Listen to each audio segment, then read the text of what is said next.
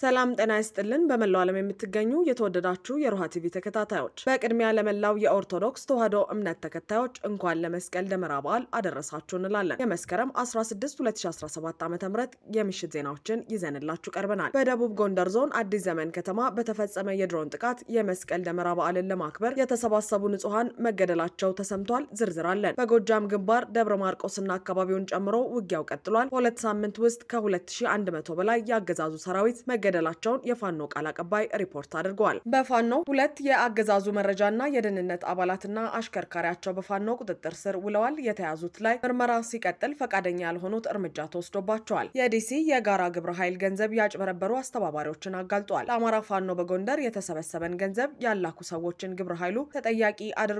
በስፋት ዳሰነዋል። ከቱርክ በግዳጅ ወደ ሀገራችን የተመለሱ ኤርትራውያን ስደተኞች ከፍተኛ የሰብአዊ መብት ጥሰት እየተፈጸመባቸው ነው ተብለዋል። አድማጭ ተመልካቾቻችን አብራችሁን ልትቆዩ ከፈቀዳችሁ እነዚህ መረጃዎች በዝርዝር የምናሰማችሁ ይሆናል። የሮሃ ቲቪ ወቅታዊና ሀቀኛ መረጃዎች እንዲደርሷችሁ ቻናሉን subscribe፣ like እና share በማድረግ አሁኑኑ ቤተሰብ ይሁኑ።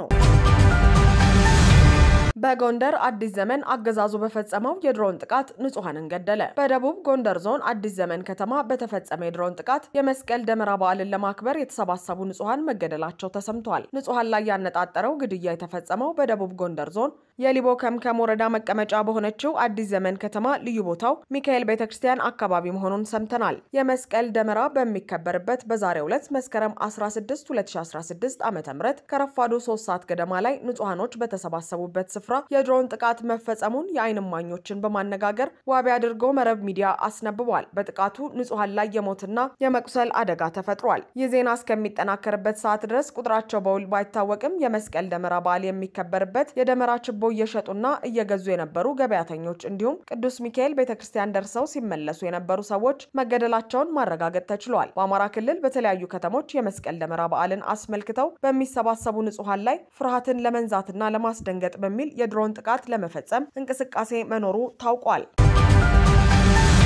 በጎጃም ግንባር ደብረ ማርቆስና አካባቢውን ጨምሮ በተለያዩ ቀጠናዎች ከባባድ ውጊያዎች ቀጥለው ውለዋል። የአማራ ፋኖ በጎጃም ሰራዊት በግዛቱ የተለያዩ ግንባሮች በቀጠሉ ውጊያዎች የአገዛዙን ኃይል አከርካሪ በመስበር ከጥቅም ውጭ እያደረገው መሆኑን የፋኖ አመራሩ ገልጿል። የአማራ ፋኖ በጎጃም የህዝብ ግንኙነት መምሪያ ምክትል ኃላፊ ፋኖ ዮሐንስ አለማየሁ በሰጠው ቃል በአዲሱ ዓመት ያለፉትን ሁለት ሳምንታት ወይም አስራ አምስት ቀናት ከባድና ውጤታማ የሆኑ ዘመቻዎችን አድርገናል ብሏል። በጎጃም ግዛት ያለፉት ቀናት ውጊያዎች በተለያዩ ግንባሮች ባሮች በተደረጉ ውጊያዎች ከሁለት ሺህ በላይ የአገዛዙ ወታደሮች ተደምስሰው እስከ ወዲያኛው መሸኘታቸውን ፋኖ ዮሐንስ ባቀረበው አሁናዊ መረጃ ላይ ጠቅሷል። ትናንት በምስራቅ ጎጃማ ዋና ከተማ ደብረ ማርቆስን ጨምሮ በተለያዩ ግንባሮች ስለተካሄዱ ውጊያዎችና ዛሬም ስለቀጠለው ዘመቻ ያስረዳው ቃል አቀባዩ የፋኖን ግስጋሴ በመረጃ አስደግፎ አብራርቷል።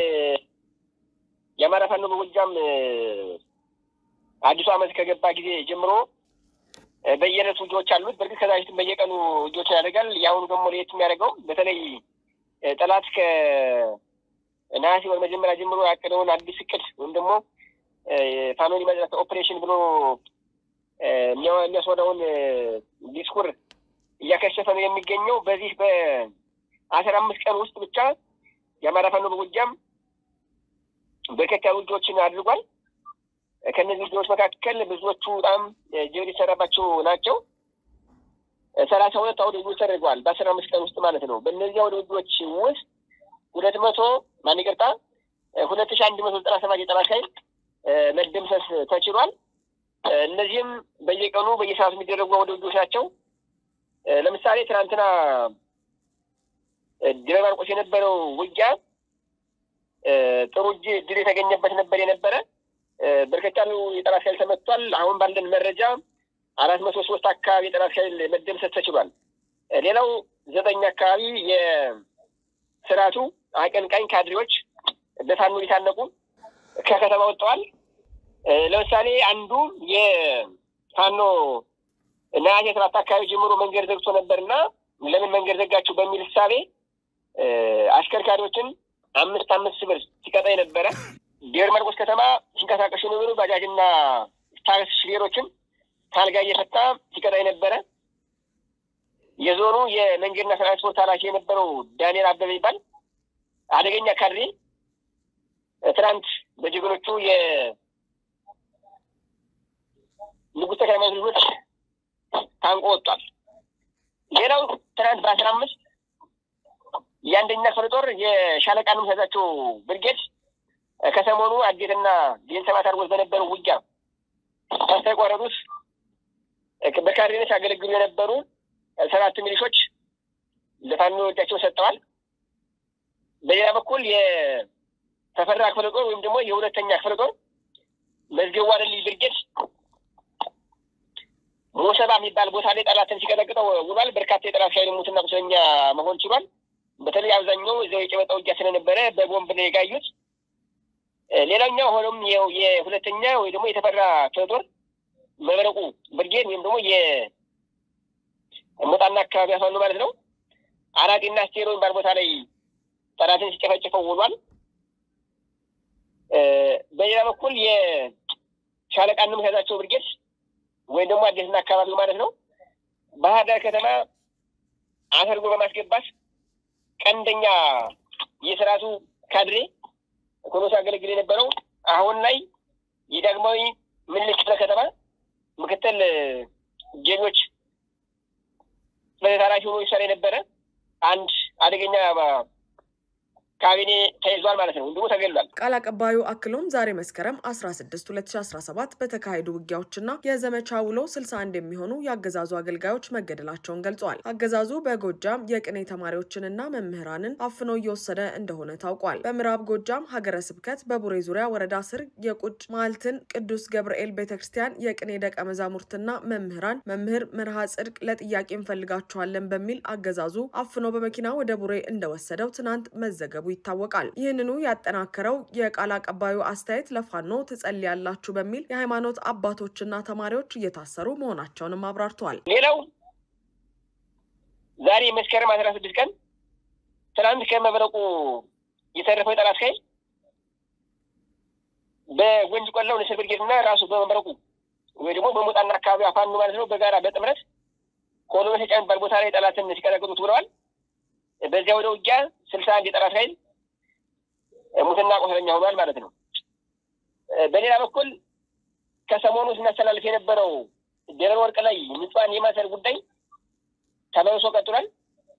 አሁን ባለን መረጃ ወደ አምስት መቶ የሚጠጋ ንጹሐን ታስሩና ሰቆቃ ውስጥ ነው የሚገኘው።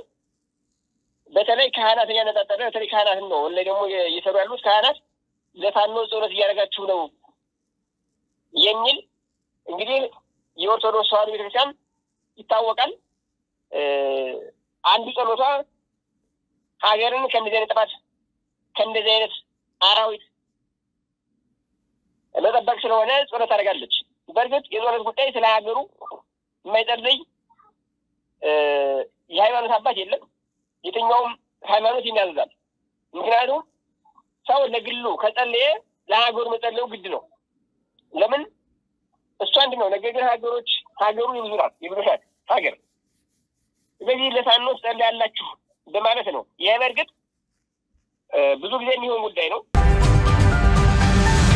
ሁለቱ የአገዛዙ መረጃና ደህንነት አባላትና አሽከርካሪያቸው በፋኖ ቁጥጥር ስር ዋሉ። በሸዋ ግዛት መራቤቴ በሚዳና ሬማ ወረዳ ልዩ ስሙ በህራ በተባለ ንዑስ ወረዳ ላይ ሁለት የአገዛዙ የብልጽግና መረጃና ደህንነቶች ከነሹፌራቸው በቁጥጥር ስር ውለዋል። በትናንትናው ዕለት መስከረም 15 2017 ዓ ም ከሌሊቱ አምስት ሰዓት ላይ ጨለማን ተገን በማድረግ ከጃማ ወረዳ ወደ መራኛ ከተማ በመጓዝ ላይ የነበሩ ሁለት የፋሽስት የብልጽግና መረጃና ደህንነቶች መያዛቸው ታውቋል። ጨመረ ከፈለኝ የተባለ የአምቡላንስ ሹፌር የወራሪውን የመከላከያ ሰራዊት አባላትና የቆሰሉ የሰራዊቱን አባላት ለህዝብ አገልግሎት በተመደቡ በወረዳው አምቡላንስ ሲጓዙ እንዲያቆሙ ቢጠየቁም ፈቃደኛ ባለመሆናቸው እርምጃ ተወስዶባቸዋል ሲል የኤቢሲ መረጃ ጠቅሷል። ሁለቱ የፋሽስቱ የብልጽግና መረጃ ደህንነት አባላትና ጨመረ ከፈለኝ የተባለ ሹፌር በህይወት እንዳሉ በቁጥጥር ስር መዋል ተችሏል ሲልም ዘገባው አክሏል። ይህ ድንቅ ኦፕሬሽን የተከናወነው በአማራ ፋኖ ሸዋ ጠቅላይ ግዛት እዝ አጼ ዳዊት ክፍለ ጦር ቀስጠንህ ብርጌድ በነበልባል ሻለቃ ሲሆን በሻለቃ ምክትል አዛዥ በፋኖ አላማው አያልቄ በተመራው አስደማሚ ኦፕሬሽን ባንዳን በቁጥጥር ስር መዋል እንደተቻለም ታውቋል። በፋኖ የደህንነት ስራ ቁጥጥር ስር የዋለው የአምቡላንሱ ሹፌር የጦር መሳሪያ ክላሽንኮቭ ከነሙሉ ትጥቁ የታጠቀ ሲሆን ሁለቱ የደህንነት ሰራተኞች ላይ የተለያዩ መረጃዎች፣ ዶክመንቶችና ከተለያዩ ቁሳቁሶች ጋር መያዛቸውን ተከትሎ ምርመራው ቀጥሏል።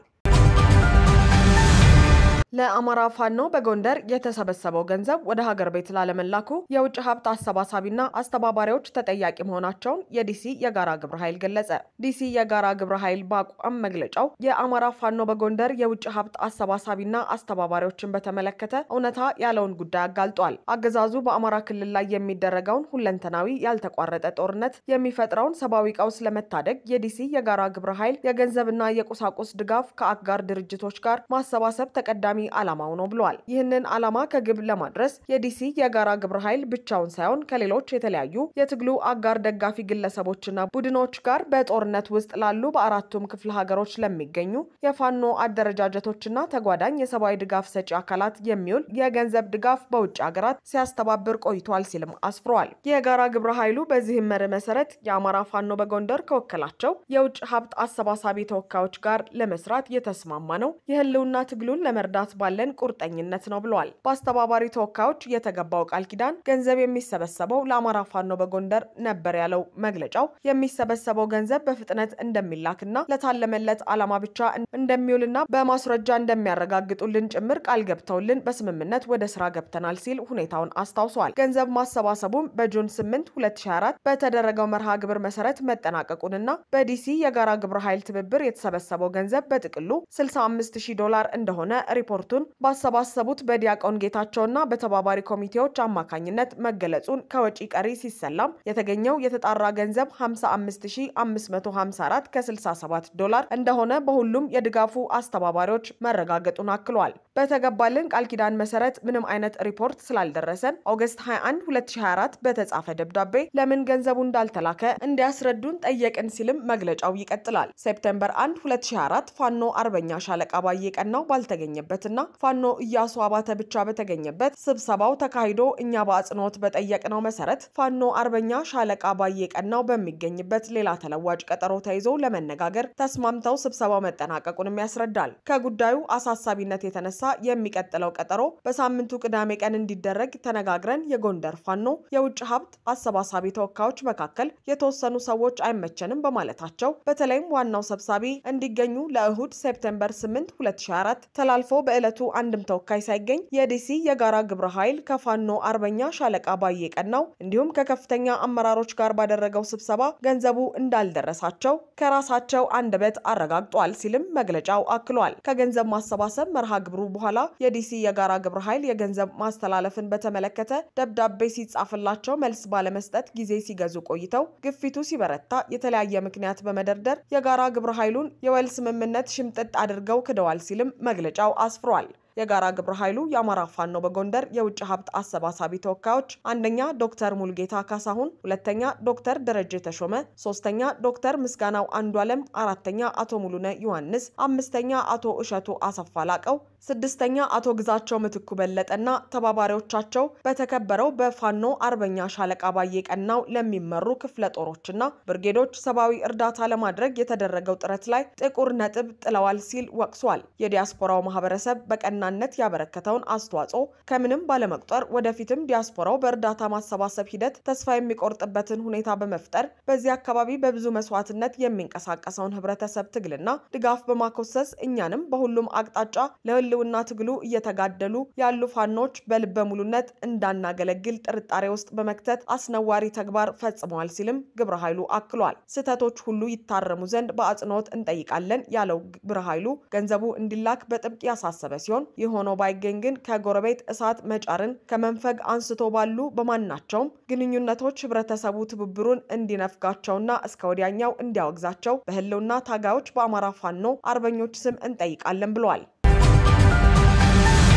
ከቱርክ በግዳጅ ወደ ሀገራቸው የተመለሱ ከፍተኛ የሰብአዊ መብት ጥሰት እየተፈጸመባቸው ነው ተባለ። ቱርክ በመቶዎች የሚቆጠሩ ኤርትራውያን ስደተኞችን በግዳጅ ወደ ሀገራቸው መመለስ እንድታቆም የመብት ተቆርቋሪው አምነስቲ ኢንተርናሽናል አሳስበዋል። ዓለም አቀፉ የሰብአዊ መብቶች ተቆርቋሪ ተቋም የሆነው አምነስቲ ኢንተርናሽናል ኤርትራውያን ስደተኞቹ ወደ ሀገራቸው ከተመለሱ ስቃይ፣ የዘፈቀደ እስራትና ሌሎች ከባድ የሰብአዊ መብት ጥሰቶች ሊያጋጥማቸው ይችላል ሲል አስጠንቅቋል። ቱርክዬ በቅርቡ 300 ያህል ኤርትራውያን ስደተኞች ስደተኞችን በግዳጅ ወደ አገራቸው መልሳለች ያለው ድርጅቱ የቱርክ ባለስልጣናት የኤርትራ ዜጎችን በግዳጅ መመለስ እንዲያቆሙና በዓለም አቀፍ ሕጎች መሰረት ጥገኝነት የመጠየቅ ሂደቶችን እንዲያሳልጡ ጠይቋል። የተባበሩት መንግስታት ድርጅት የስደተኞች ከፍተኛ ኮሚሽን በበኩሉ በግዳጅ የተመለሱ ኤርትራውያን በተለያዩ ሪፖርቶች መሰረት ከህግ አግባብ ውጭ የሆነ እስራት፣ እንግልት፣ ስቃይና አንዳንዴም በባለስልጣናት እጅ ግድያ እንደሚፈጸምባቸው ገልጿል።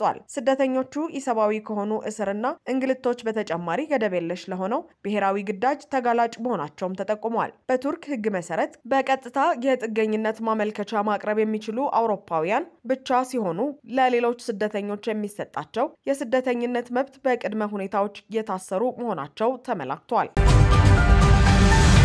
አድማጭ ተመልካቾቻችን የሰዓቱ የሮሃ ቲቪ ዜናዎች የተከታተላችኋቸውን ይመስሉ ነበር። አብራችሁን ስለነበራችሁ ከልብ እናመሰግናለን። ሰላም